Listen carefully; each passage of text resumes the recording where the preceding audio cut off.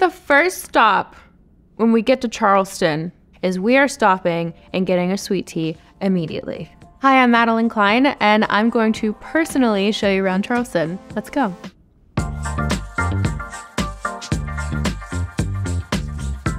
What makes Charleston a special place for me, for starters, I am from there, so it is home. I'm from about 30 minutes outside of it. My family is still there. So when we go shoot Outer Banks, we shoot in Charleston, I get to see my family. So there's a lot of really special memories wrapped up in, in that city.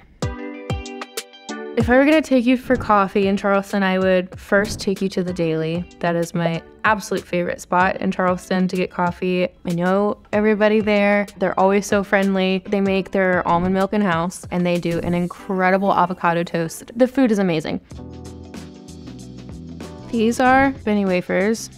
And they're made with, I think it's like a lot of, I'm not sure how to make them, but I know they're special because they have sesame seeds in them. And they're kind of salty, super crispy. They're like the Charleston cookie. Also not pictured. Get you some okra candy. That's like final boss of Charleston sweets. And then there's also, these are pralines. I don't know why they're special, other than they just taste great. Or like, I feel my blood sugar spiking. You can find these things literally everywhere. They are signatures of Charleston. Well, you always have to do your lemon. This is not gonna be graceful. Sorry. Laughs maniacally. Give it a good stir. Sweet tea is not sweet tea if there's not a little lemon in it. Delicious. You can get this anywhere. It's not just a Charleston staple, it's a Southern staple. I also love that y'all put it in a mason jar. That's so cute. And then we also, when you order half and half, it's like half sweet, half unsweet. I remember the first time I ordered half and half, I think I was in New York, and they came with like a half and half, like what you put in your coffee, like dairy product. I understood why they looked at me so strange, because they, I was asking for just straight half and half. It just tastes like home. I have been known to be late for work because I was stuck in traffic in the drive through to get a sweetie. I'm gonna get in trouble for that. oh well. no one's taking this. yes. Everybody has their own opinions. Oysters, that's like, that's a very personal experience. However, if I'm taking you to get the best oysters, I'm taking you to Leon's Oysters and Poultry. Basically, it's fried chicken and oysters, which I don't think you can get more southern than that. They have the best oysters, the best fried chicken, and the best orange wine, which for me is a successful dinner. It's salt, starch, butter, and sweet tea. Those are the four pillars of a Southern diet. I don't really go out in Charleston too much, but if I'm really feeling like ripping, I would probably take you to El Jefe because there's a mechanical bull. Shots in a mechanical bull is just like a recipe for a great night. And then at that point, anywhere sounds fun enough tequila, we could go anywhere. We could go to Trio. We could go to Republic. We could go skinny dipping. We could go to Folly Beach and skinny dip. I think that's illegal though.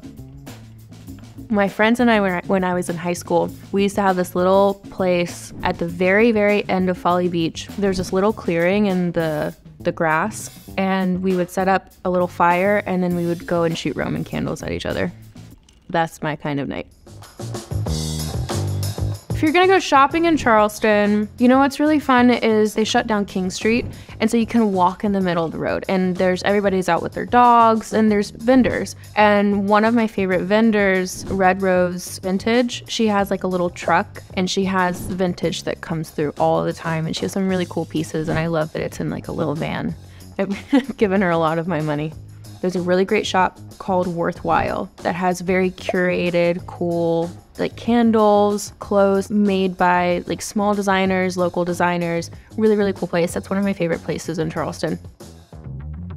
To see the most beautiful sunset, I would take you to Shem Creek, which is in Mount Pleasant. There are restaurants literally on Shem Creek, and you can sit and watch a sunset and have a beer, or get bottomless crab legs, or eat oysters up to you. Beautiful, usually because the fishing boats are coming in, there's dolphins. So you can see dolphins in the creek. It's very, very postcard like.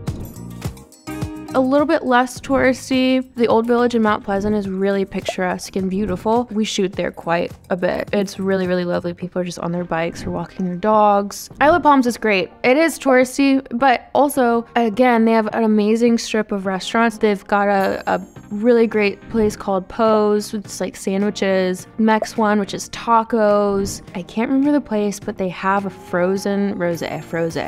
You can just go to the beach, get your froze, and just sit there and let your mind go to mush.